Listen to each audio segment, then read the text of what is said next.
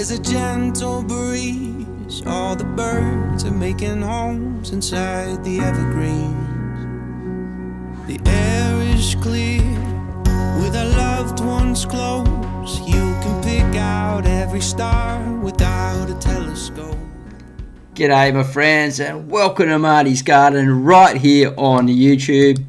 Thanks for coming to watch another live show. It's raining here again on the coast where I live, so don't want to get down on site. Can't really get out and film.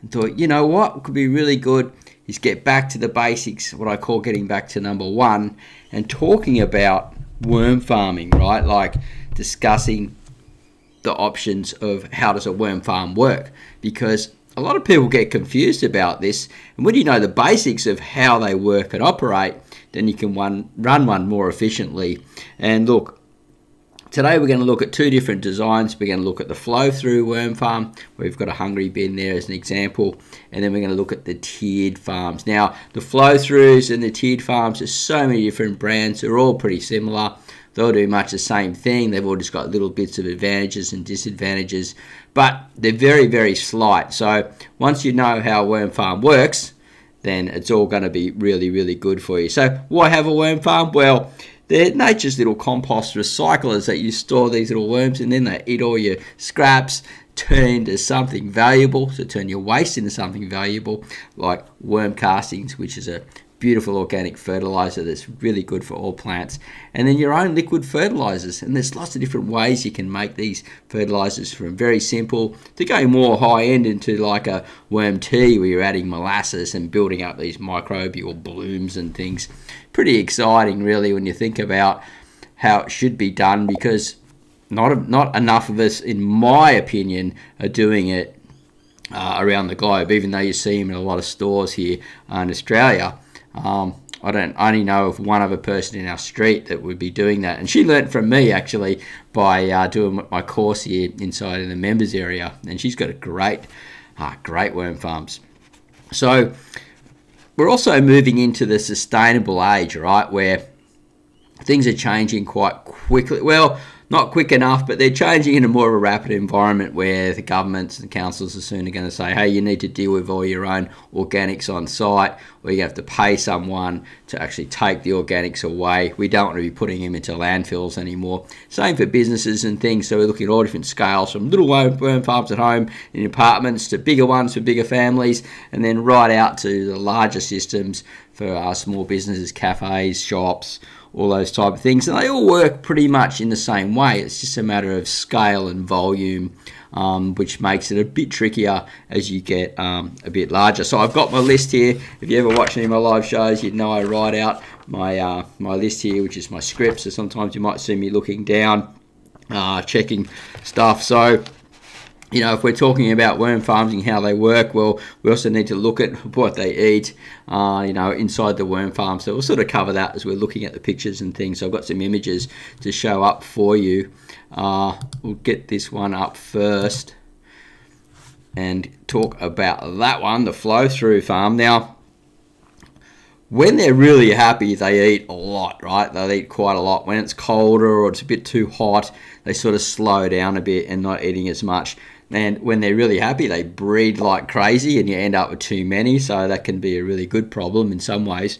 And they're working for you, like they're doing a job that um, if you just give them a little bit of a helping hand, they're going to break down your waste. And you can even, you know, if you're not into full on in the garden, you put it out in your lawn, put it underneath your trees. You know, like you can use it in so many ways in the pot plants, and there's no smell and stuff like that if you're doing it properly and it, it's pH neutral, so uh, seedlings are fine, doesn't burn any roots or anything like that, and actually protects a lot of plants with uh, the microbial microbes that live around the, the worm casting, which is their poop, that actually help protect the roots and the plants to make them healthier. So healthier plant, less susceptible to disease and pests and things like that.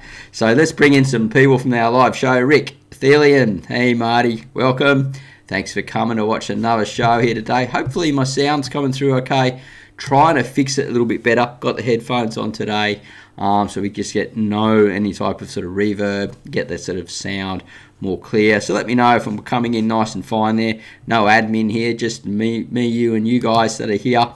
Uh, Lisa Maple, hello, it's raining in Missouri and 43 degrees. Well, yep, sort of about maybe 23, 24 here today. Uh, 2025, I believe all councils need to act. Um, yeah, they're doing 2030 here. Um, you know, where I live is still a way off, but um, yeah, we're coming through, so hopefully it'll all work out quite well. Now, being a um, a weekday, we do usually have a more of a popular show um, on the weekends, but at the moment I've been working down on the site on the weekends, and then I ran a show last Sunday. Um, so we'll see how the weather goes over the next few days. Um, whether we keep running out the, the live shows, I get to practice um, using my software, talking with you guys, and get out this information that I believe is uh, really, really vital. It's funny, I had um, someone call right on when I started um, and I just need to answer that really quickly.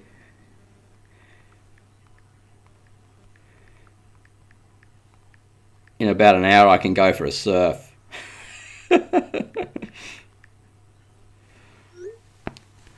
Ah, uh, yeah. So, yeah. Sorry about that just uh, like like I said, if we had the admin, whatever, we could do that. But yeah, want to get out and uh, get into the ocean today before all this really bad rain comes and do some exercise. Didn't sleep very well last night, so I think some diving in the ocean uh, may help just a little bit. So, right, let's get into the slide that we have here. Flow through worm farm. Now, this is a hungry bin, right? And I had one of these. I sold it. I've got another one coming. Uh, Permy Pete from Wormbiz, I believe, is dropping it off for me We'll just see when it turns up. Now, I've got lots of videos about the Hungry Bin on my channel, so uh, if you want to learn a lot about that uh, type of flow through worm farm, I suggest you go onto my channel, Marty's Garden, and just type in Hungry Bin, and you'll get lots and lots of. Uh, you could even type in just into the the search box, Marty's Garden Hungry Bin. You'll get lots of videos uh, about it. I have a bit of a love-hate relationship uh, with this worm farm. Um, and I've just got to answer back to that. Bit of a crazy time at the moment, sorry. All right, um, so I've got a bit of a love-hate relationship with this worm farm. I Bought mine secondhand. It lasted for years. The plastic's really good and strong. I found I didn't have really many problems with it. One of the problems I've got a bit of a sore neck. I've had dystonia over the years, and I've got neck issues. And so moving around a heavy farm was definitely not on. Once they're full, man, these things weigh a ton. And I believe all flow through worm farms once they're full would be really, really quite quite heavy, right? So depending on the size of your flow through worm farm. Now, there are a lot of other flow through worm farms that actually don't have heavy plastic sides and we'll talk about the advantages and disadvantages of plastic versus the aerated um, one, so the airflow gets in on the sides.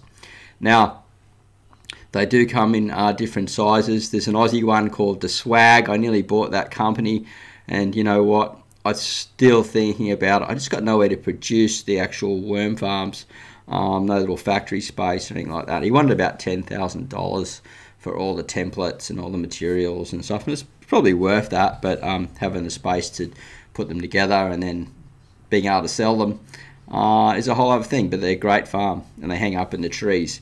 The swag they're called. I don't have a picture of those, but I might do a review on one if I get hold of a swag. Um, so the hungry bin. Let's have a look at that one first. And you can see here, if you can see my mouse on here, all the plastic, we've got the water down below, so it drips through, catches the leachate if that's the material that's breaking down slowly and dripping through, or if you pour the water through and then you get a whole lot of big flush coming through, then that's a drench. Then you grab the drench, it's not leachate, and then you actually pour it around the, on the garden. It's the dripping stuff that comes through that has the bad bacteria in it generally. If it's not if your farm's not really oxygenated, that can be a problem. There's lots of controversy and debate about that uh, online, but if you keep it uh, very well oxygenated, less problems with any type of funky smells and bad bacteria, right?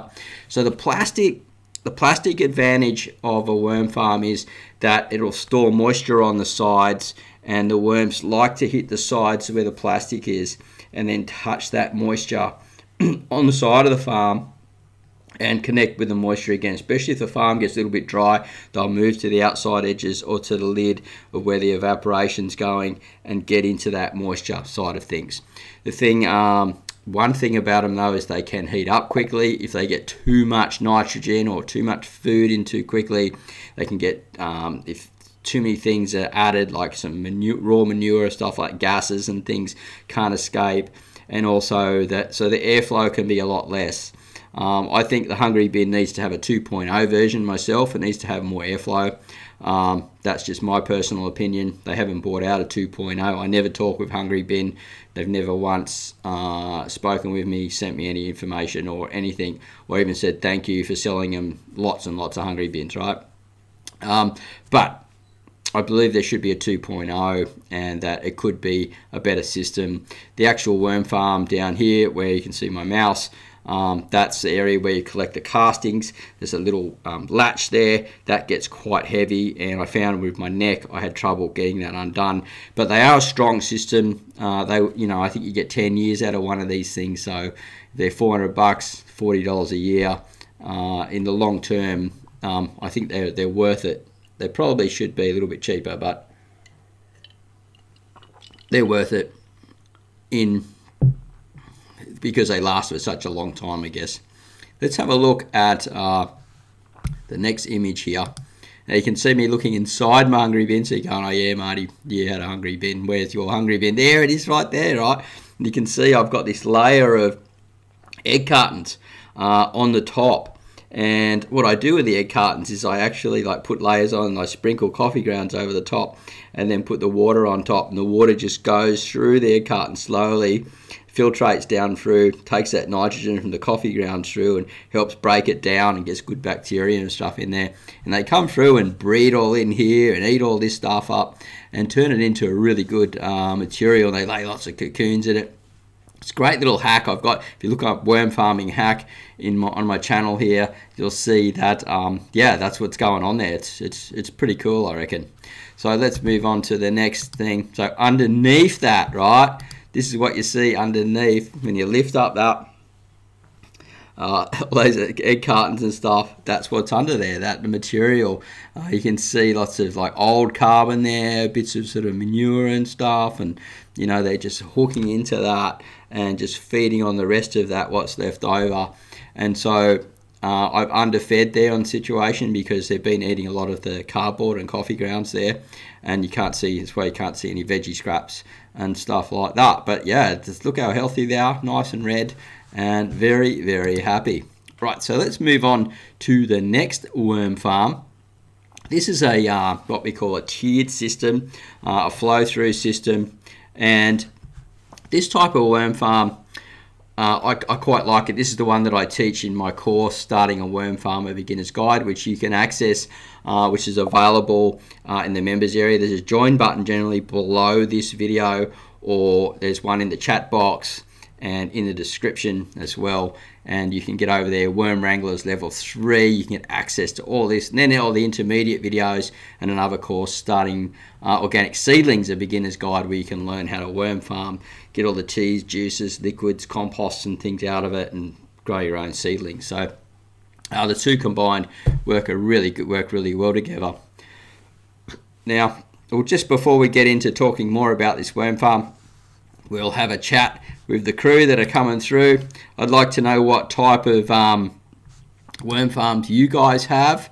Uh, whether you've got a flow through or a tiered worm farm, or is a certain brand that you think uh, is better than others. And g'day Tommy, g'day LP, and uh, yeah, and yeah, let me know what type you've been using. We're going to be running for just under an hour today, and we'll yeah talk more about worm farming and this system here. So what we're going to do is we're going to look at this guy. Let's have a look here. All right, so we've got this worm farm here now. We've got the, the flowed through system, the tiered one. Remember, let me know what type you're using. Are you using, using the, the tiered system or are you using a flow through system? Let me know in the comments box down below if you're watching the rerun uh, as well. Now, if we're looking at this top system here, now this is more an advanced farm. Before we get started, we wouldn't have this top third level on here, right? Generally, generally speaking we wouldn't have it. And what we do is we remove that and we would just have, let's say, that. let's change this. We would take this one out, which has got the castings in it, and leave that one here. So we've got our lid, we've got our bedding material, which is here, which you can see the browns here, and on top here, we have our food. So this light brown area would be our food, and the worms would be active all through this brown sort of like area here which is our bedding, moving up and eating the food, eating the bedding, dropping their castings. The castings seem to go towards the bottom. They can stay on the top, but depending on what type of farm we've got.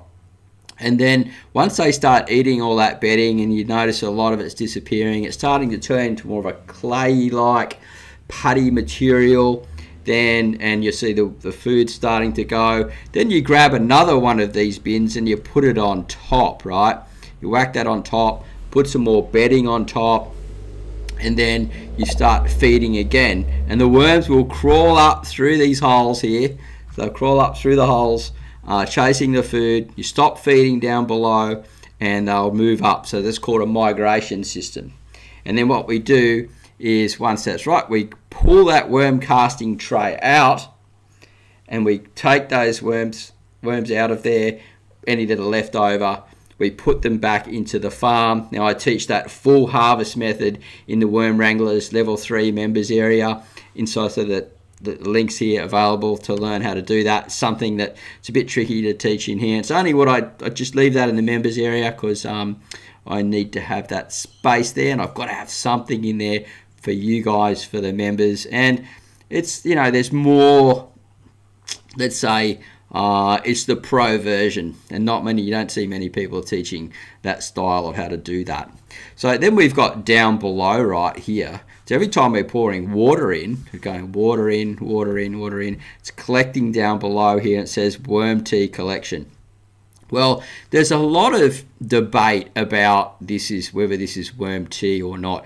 Really, uh, like you know, like we can't go into. I don't think it's even in the dictionary and all that type of stuff, and I don't even know if it's in Wikipedia or whatever. But a worm tea is more really when we're grabbing the the castings. We got it in some type of bag. We're putting it in water with a bucket with some molasses, and then we're so some sugars, and we're actually oxygenating highly, and we're breeding the microbes up in the system. Then we release it out in the garden. So it's a big mi microbial bloom and the material that actually as it's breaking down and losing its juices is soaking back through and going back through the system. That's a leachate right so that's the stuff generally if it sits in the bottom people will just leave their farms. They're really lazy. It just leaches down through for the week and at the bottom there there's no juice because you haven't been putting any water through. It's just the leachate. That's sort of a, if you can add a bit of water to it you can throw it in the garden. It's still okay but generally that's where the bad bacteria is because it's gone anaerobic it's gone a bit funky.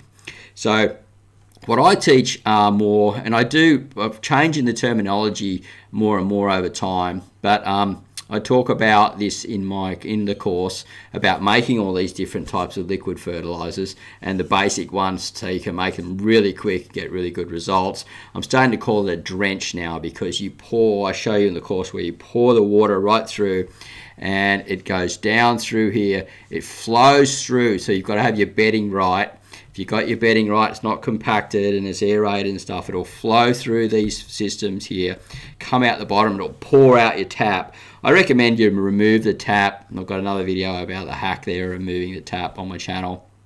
And it'll flow out much easier. The taps seem to get blocked up and things. I'm not a big fan of those.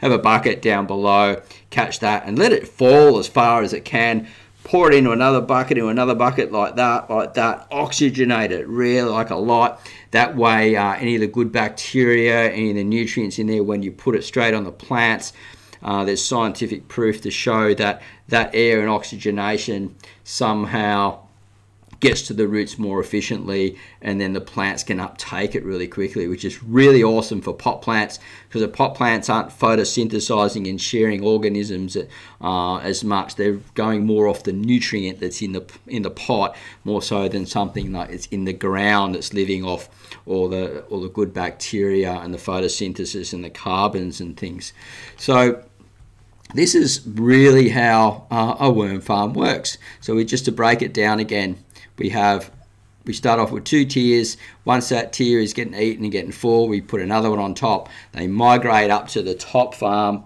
and then we pull that center one away, and we keep going over and over. Just remember when you put, do your farm, don't clean it out full on. So, so some people would polish the thing nearly.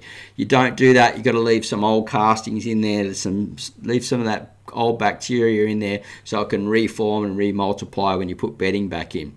And I highly recommend if you can get hold of a good compost, a mushroom compost, or some aged cow manure, things like that. Um, you'll end up with better bedding than just using coco fiber. Coco fiber takes a bit longer to get that nutrient flowing through into the system. So we can have lots of healthy worms like this chewing through. Now, they say that they can eat half their weight in a day.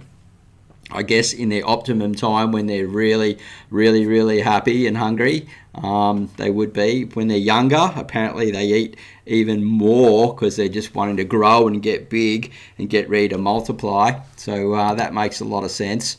And cheers. Thanks for coming to watch the show. I just need a little break here for a sec.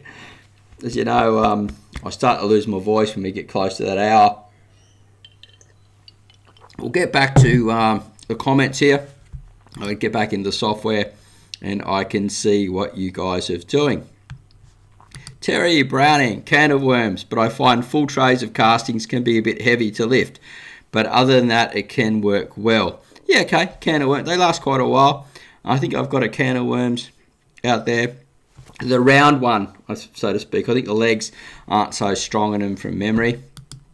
Um, Lisa Maple, just two simple tub style bins working great, but nervous about collecting the castings, and there are a lot to collect. Yeah, yeah, for sure. But like I said, Lisa, in um in that course there, you can learn how to do it efficiently. Once you learn how to do it once, you'll never have to bother again.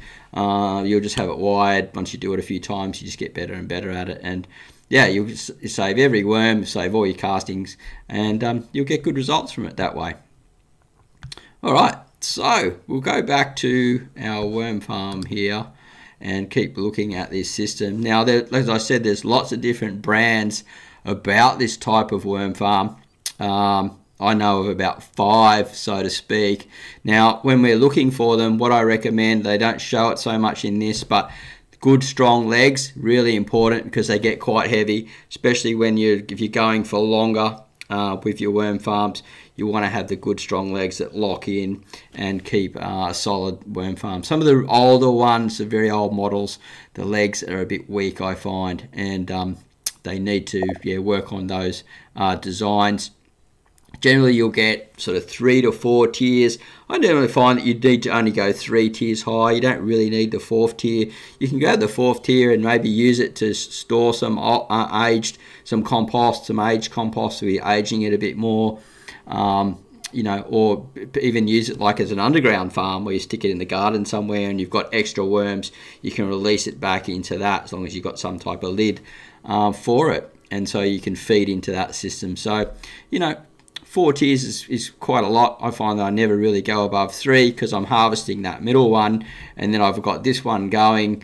And I find very rarely you need the fourth one uh, on top. I don't know why they sell the fourth one, really, to be honest. Uh, yeah, it just I'm a bit confounded with that. I've never really got, and they're big and heavy and stacked too high. They fall over. Legs can't handle the weight. Um, we need some new designs, some new 2.0s, uh, so to speak, instead of they're just regurgitating out a similar design over and over, doing little tiny improvements um, over a 10 year period. Um, well, longer than that now they've been around. I'd like to be involved in a possibility of designing a new one into the future. But we'll just see uh, how that sort of comes out uh, over time. So we'll go back to, let's have a look at, we want to have a look at this one again, the flow through farm. So we'll go back to here and talk about feeding this system and the best way to get like something like a hungry bin working. Now you can see in this image they show a lot of food, right? Now if you've just got a lot of like it's like leafy greens and things like that, like a lot of lettuce and salads and you know like not sort of like funky fruits and things like that, you can put a lot more food in. But if you're putting things like watermelon in there, you know, um, tomatoes, those sort of like very fruits with a lot of moisture, you'll end up with a lot of vinegar flies, a lot of other problems. Um, so I always recommend that you sort of don't overfeed your farms. But you know, if you're putting leaves and things like that in the top, uh, that's that's quite fine. So you can see in the in the image that you can see just underneath it's gone, gone sort of humusy, and that area there uh, we can see underneath the food is the feeding zone. So they're feeding that, turning that into um, into a worm compost. So it's, it's becoming uh, vermicompost, worm poo, right? And you see it in that next layer. It starts moving through and it falls down through the farm and it's collected out here down below. Now, each time this water's coming through, pouring a big bucket through, I recommend that you pour it back through, have some type of blanket over the top. So as the farm sort of decomposing down and breaking down and breaking down and breaking down, it's becoming this where we harvest out of here.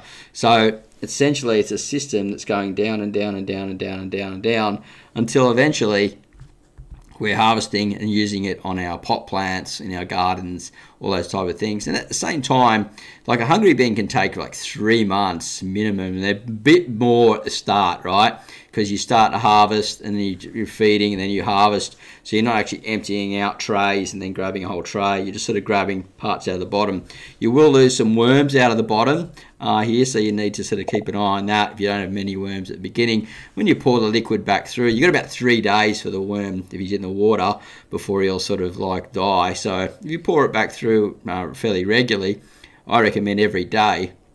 Um, you're getting that bacteria back onto that food source there and it's breaking down slowly, slowly, slowly, slowly, slowly. So if you've got any questions about how a worm farm works, let's get into it. Let's fire away and we will move into uh, Q&A which uh, I'm very happy to do and while we're doing that I will bring forward some of our recent comments. All right, we've got a few people turned up since then. Uh, we've got 18 people watching, 15 thumbs up, and thanks everyone for coming so far. And it's great to have you here. I'm just going through our comments here. Vermicost, learn by doing. Great info, Marty. Glad I caught you live. Wish I lived closer to you to try out your mushroom compost. Well, I wish you did too, mate. I tell you what, it's a bit lonely around here with what I do. There, I've discovered another composter that lives. Um, he he's actually a landscaping guy, makes compost and sells it. Um, and he's not too far away. I met him the other day. But yeah, it'd be good to just meet up with another YouTuber too and share video content and talk together and collaborate a bit, stuff like that. I'd really enjoy that. O'Donnell's Hosey Homestead. G'day, mate. Thanks for coming, Michael. Uh, bitter. So remember, we're doing the Q&A now and uh, we'll probably finish up around about 10 o'clock Aussie time. A little bit of a shorter show today. Um, but yeah, happy to answer your questions. Arbiter, just bought a first worm farm. Can't wait to see the results when raising seed. Yeah, look, you get really good results from the vermicompost and seedlings. They just love it. 10% is the way to go. I've never been able to go over four tiers either, and it goes down three in a week or two. Agreed, 2.0 would be a great design. Uh, I don't know why they just won't create these new ones. We've got all these different ways to work with plastics now. Um, like I said, maybe if I can design one uh, going into the future, be good to work on a new system, and it'd be even great if we had the money to to buy. Um, imagine we all collected together and we actually owned the Aussie swag one. That would be really cool. Uh, very very achievable too uh, if we all put it together. But you know, who knows? Just dreaming again, maybe. vermicompost. What are your thoughts on dry food like a worm chow, such as pulverized oats? Pros and cons. I really like it actually. Uh, I think once you lock the moisture into it, uh, it's a great protein source for them. Uh, it really gets the, the, smaller ones breeding up and bigger fast. Uh, put some weight on them quickly, and yeah, the, the right from the small ones to the older ones. They like to eat it, and um, it seems to be the way to go. You know, a lot of professional worm farmers they don't even feed these scraps and things like we do. Um, like I just feed. Well, I don't feed my in, in my professional system where I've got the big farms. Uh, I don't really feed them much scraps at all, but you know, at home, this is what it's all about, right? It's recycling and using it, and you do get a really high end casting by using a lot of variety of food. You get a because you get more different types of microbes feeding on different types of foods, and as the worms are eating those microbes or bacteria, they're passing through the gut, moving through, and you get a more beneficial range. But um, as far as building up stock quick and getting them going fast, I think uh, definitely the way to go. I know they use um, chicken feeds and things like that, and ones for baby chickens as well is a bit of a secret there for you uh, yeah, so I don't know about cons for it. Don't know. I think maybe the con would be that you just don't get a broad activity of bacteria. That would be the con, I would say. Garden Kings, g'day, mate. Seen you for a while. I'm struggling to find the perfect moisture level in my compost bin. Hope you're being well. Aren't we all, my friend? you just got to add more carbon, add a bit more nitrogen. You'll work it out. I'm sure you'll be fine. Um, there's no such thing as perfect anyway, mate. Uh, it's just as long as we're happy, worms are happy, and everything's working, then we just go with it. Sorry, I had to take a call, but I'm back. Ah, that's okay. I had to take a little call too, but I just sent an SMS. I probably should have took the call; would have been quicker. Uh, organised to go for a little surf. Um, one of my mates wants to go when the, the tide's low, so and starts turning around and coming back in been feeling a bit weird today. Didn't sleep well, a few nightmares and things like that, and just you know, I wasn't feeling my usual pick me up self today. So I think a paddle out in the water might well, wash that off, you know. Uh, all right, Muri Retro. Uh, is having compost bins where worms can have access through the ground going to and fr- yeah, been good. Yeah, well, the basically compost worms are a surface feeder and your earthworms come up and down their vertical feeders and they work really good in synchronicity together. So if you ever look at um, on my videos it's called biggest worm farm ever and if you look and I've got them set up in my big in like I was going to say industrial it's not industrial in my big worm farm area now where I make the compost and everything to sell um, I have something like that and at the moment, when it's raining a lot, I see a lot of big earthworms coming more to the surface, uh, up around with the compost worms, and they're going up and down like that. So the big worms, earthworms, are going up through the system. They're drilling holes, making the air into the soil profile, letting the water go through the soil and oxygen, which is really great for the ground and land. And then they come up, they'll feed on the surface a bit and go back down, taking that, whatever they've captured, back down drop it as a casting down in the soil profile, and then the roots will grow around it. So they're and they're also moving around bacteria and stuff like that. So yeah, I reckon they work really great in uh, synchronicity, and and I really like that that type of worm farming. Okay. Any tips on placement and worm farming in the tropics located in Darwin? Uh, I just really like think ones like that are connected to the ground more in the really hot temperatures um, because the earth keeps a more of a stable temperature. So you've got it closer to the earth, uh, you know, like the underground worm farms sort of thing. So look at sort of maybe that option or connecting up a, a worm farm like what I've got, biggest worm farms ever. So it's connected to the ground and to the to the to the top part, and they can move up and down to where they find their happy days and hot day, cooler days, and be where they want to be. And in the early mornings, late evenings, they'll come to the surface and feed on that material that you're feeding them. So, uh, tropics, I think you need a really big far, bigger farms so they don't heat up and cool down as much, keeps more stable temperatures. Hopefully that helps you. Hey Lisa, that's cool. Got the DIY tubs too Tommy Adams. I'd rather use free food sources than buy it. There's so many things you can feed them that would normally be thrown out. Well, that's what I'm about here, really. Um, you know, for teaching is, is really about the recycling, the benefits of turning your waste into something valuable, Tommy. That's what I'm. Uh, that's what I'm all about, and uh, yeah, I think it's the way to go for the general public, definitely. LP, good call, Marty. Get some fresh air and water. Yeah, I'm gonna. I've just got to get back to my buddy, and uh, he's been down there, had a look.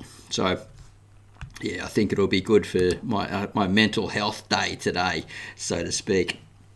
LP, very true, Tommy. I've heard some folks go to grocery stores and get stuff they're throwing out. I have enough food and plant waste to feed mine. Well, I do get coffee from the local shop yeah, awesome. So yeah, there's plenty of materials out there. Uh, there's no doubt about it.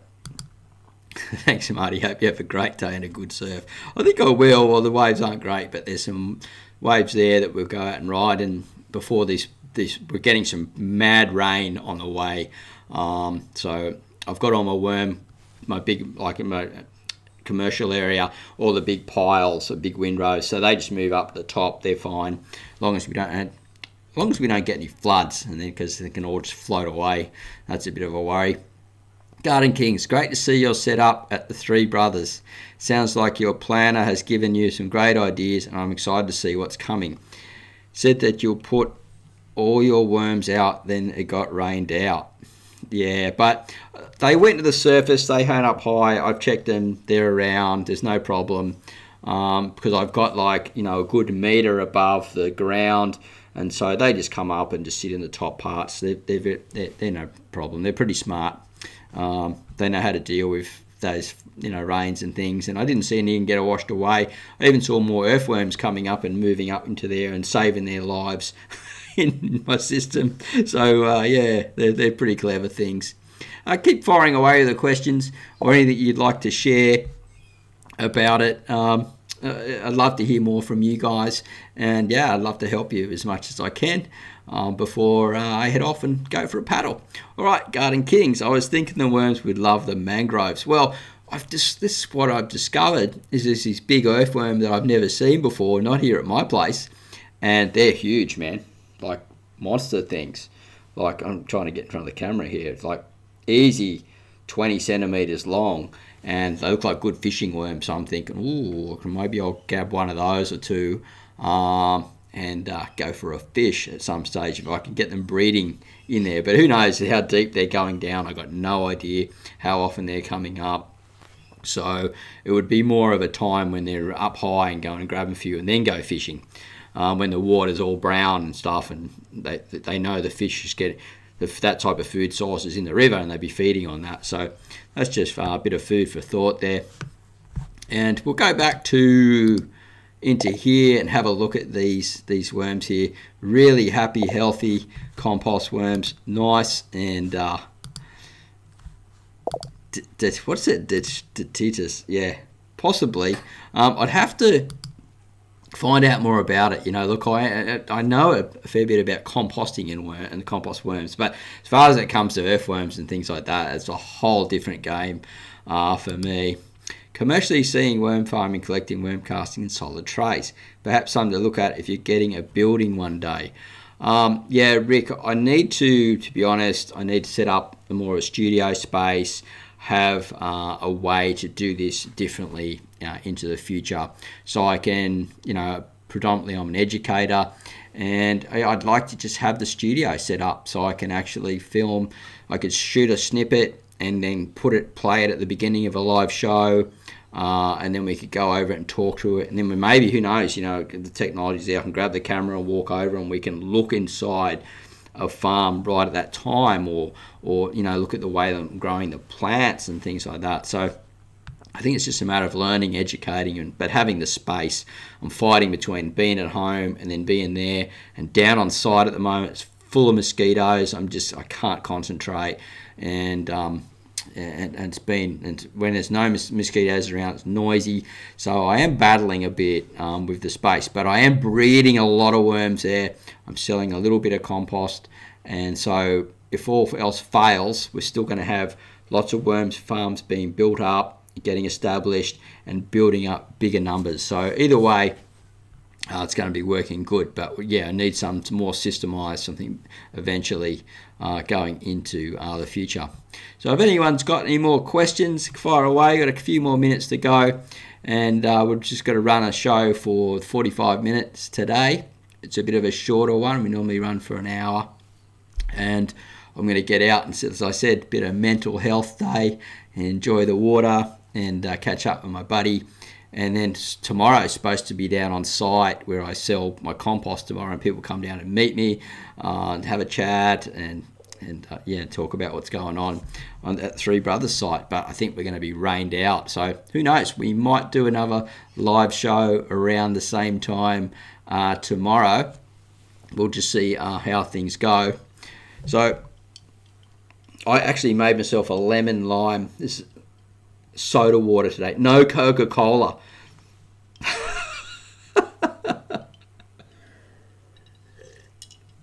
like to give that stuff away. I like the Coca Cola. I don't drink a lot of it, but I like it, and I'm you know I like my health, and it's probably the only thing that I that I probably my only vice at the moment is Coca Cola. You shouldn't count. You should count worms, not sheep, to get to sleep. I wish I could. Last night I had the worst nightmare and woke up going. Oh, It would have been better if I was counting something. I was running. That's what I was doing. I was like, a, like a mission man running away. I don't want to talk about the dream too much. It's a bit wild, but yeah, it was definitely not fun.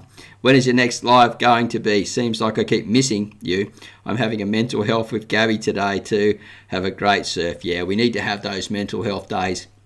Get some clarity into our life.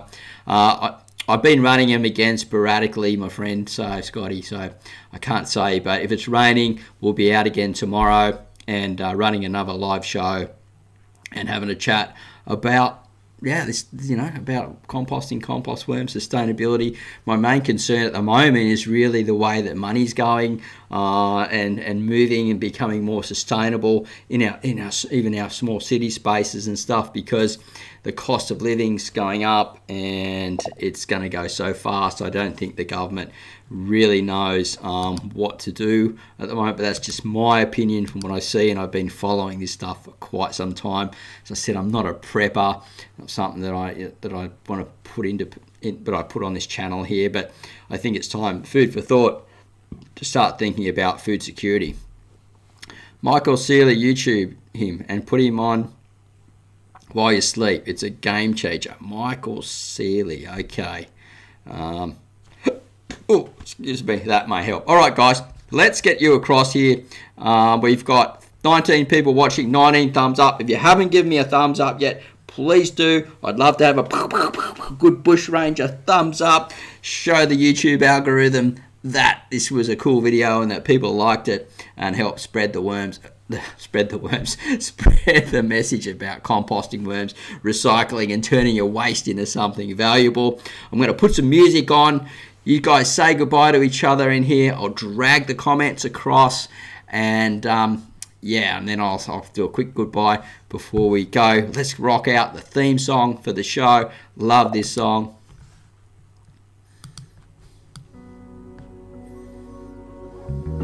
and I'll pull across the comments, guys. So, yeah.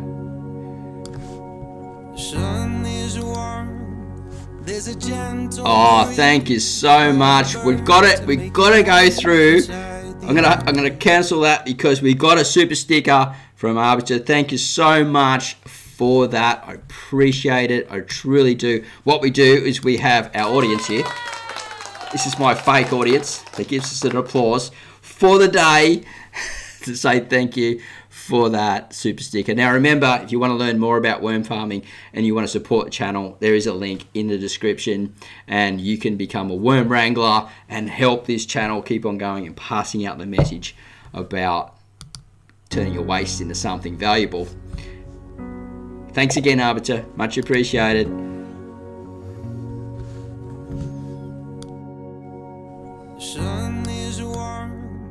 There's a gentle breeze. All the birds are making homes inside the evergreens. The air is clear with our loved ones close. You can pick out every star without a telescope. So beautiful to see how we have changed. In time,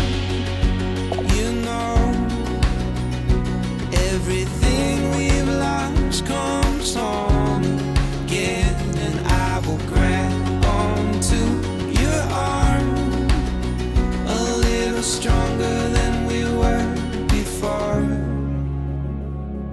I've missed your face. Has it been that long? Looking forward to a fire and a sing along. Let's stay the same as the children grow teach them all the simple things we thought we used to know. So beautiful to see how we have changed in time. All right, my friends, thank you so much for coming to watch this quick show. Sporadic, I know, but uh, it's just stoked to have you all here. If it's raining and pouring down, as they're saying tomorrow is going to be, we'll run another live show around about the same time on this channel. So have a great day, happy worm farming, gardening, and we'll see you at the next video real soon. Bye for now.